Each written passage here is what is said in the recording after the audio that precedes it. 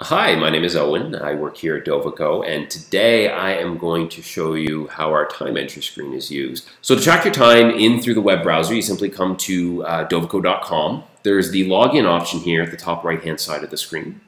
And so you'll put in the company name, you'll put in your email address and your password. Go ahead and log in. Uh, so only projects and tasks that you've been assigned to that are active will show up in this left-hand window. Once you identify the work that you're looking to track time to, you simply put a check mark to the left of it. I click on the Add to Timesheet button, and that then populates this main window where I can go ahead and track my time.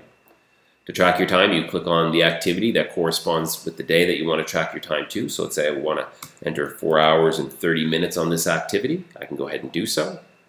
Third window down here is where you can provide details like descriptions, maybe some overtime. These entries are automatically saved. There's no save button required. And over here, we have the ability to track time using our timer.